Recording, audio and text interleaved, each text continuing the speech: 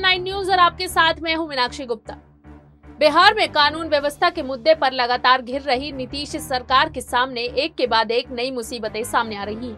पहले तो विपक्ष की ओर से सरकार को कटघरे में खड़ा किया जाता रहा है, लेकिन अब सरकार में शामिल दो बड़े दलों के दो विधायक ही आमने सामने हैं। इनमें से एक अपनी जान बचाने की गुहार पुलिस से लगा रहा है तो दूसरा सफ़ाई देने में लगा है मामला भागलपुर से जुड़ा हुआ है, जहाँ बिहेपुर से बीजेपी के विधायक इंजीनियर शैलेंद्र ने गोपालपुर से जेडीयू विधायक नरेंद्र कुमार, नीरज उर्फ़ गोपाल मंडल से जान माल का खतरा होने की बात कहते हुए पुलिस से सुरक्षा की मांग की है। बीजेपी विधायक ने जेडीयू एमएलए से जान का खतरा बताते हुए पुलिस मुख्यालय में शिकायत की है। मीडिया रिपोर्ट्स के अनुसार सुरक्षा मुहैया कराने का आग्रह करते हुए इंजीनियर शैलेंद्र ने आईजी को पत्र लिखा है।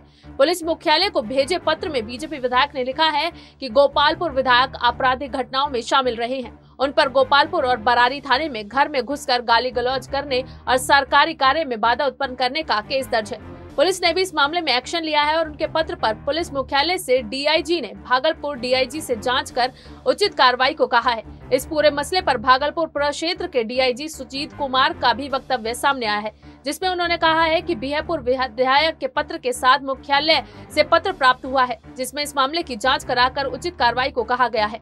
मैंने नवगछिया एसपी को इस मामले की जाँच कराने और बिहापुर विधायक की सुरक्षा को ध्यान में रख उचित कार्रवाई का निर्देश दिया है। बता दें कि इससे पहले भी गोपालपुर विधायक की दबंगई की कई खबरें सामने आती रही हैं, लेकिन जनता दल यूनाइटेड ने कोई कार्रवाई नहीं की। बीते 21 दिसंबर को गोपालपुर और बिहापुर विधायक के बीच बातचीत का ऑडियो वायरल हुआ था जिसमें विधायक ने कॉल कर उन्हें धमकी दी कि वो बिहापुर विधानसभा क्षेत्र तक ही सीमित रहे। गोपालपुर विधानसभा क्षेत्र में जो बीजेपी का कार्यालय है वहाँ नहीं आए। वहीं बिहापुर विधायक इंजीनियर शैलेंद्र का कहना था कि वो अपनी पार्टी के प्रचार प्रसार के लिए कहीं भी जा सकते हैं, पर गोपालपुर विधायक ने उन्हें अपने क्षेत्र में नहीं आने की धमकी दी है। हालाँकि ऑडियो के वायरल होने के बाद गोपाल मंडल ने प्रेस कॉन्फ्रेंस कर इंजीनियर को अपना छोटा भाई और खुद को दबंग कहते हुए सफ़ाई दी थी।